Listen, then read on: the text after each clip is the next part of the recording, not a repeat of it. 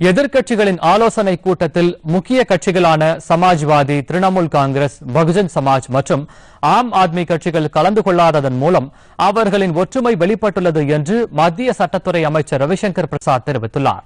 தில்லியில் நேற்று சோனியா காந்தி தலைமையில் நடைபெற்ற எதிர்க்கட்சிகள் ஆலோசனை கூட்டம் தொடர்பாக கருத்து தெரிவித்த அமைச்சர் ரவிசங்கர் பிரசாத் குடியுரிமை திருத்த சட்டம் தொடர்பாக எதிர்க்கட்சிகள் நிறைவேறியுள்ள தீர்மானம்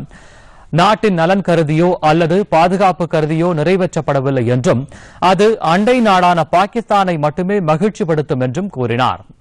நாடாளுமன்றத்தில் இந்த தீர்மானத்தின் மீது இரண்டு நாட்கள் விவாதம் நடைபெற்றது என்றும்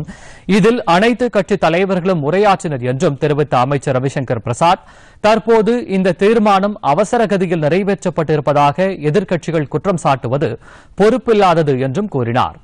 மேலும் இதன் மூலம் அவர்களின் இரட்டை நிலை வெளிப்பட்டுள்ளது என்றும் குற்றம் சாட்டினார் प्रमुख पार्टियां इस बैठक में नहीं गई थी न तो बीएसपी थी न सपा थी न आम आदमी पार्टी थी न ममता जी की टीएमसी थी तो विपक्षी एकता की हवा तो पहले ही उड़ गई लेकिन जो प्रस्ताव पारित हुआ है उससे सबसे अधिक खुशी पाकिस्तान को होगी हम सोनिया जी और राहुल जी को पाकिस्तान को प्रसन्न करने के लिए बधाई देना चाहते हैं। राहुल गांधी, सोनिया गांधी पहले एक चीज़ बताएँ, क्या सच्चाई है कि नहीं? कि गैर मुस्लिम, हिंदू, सिख, क्रिश्चियन, बुद्धिस्ट, जैन पारसी अपनी बेटी, बहनों की इज़्ज़त को बचाने के लिए भाग कर आए हैं?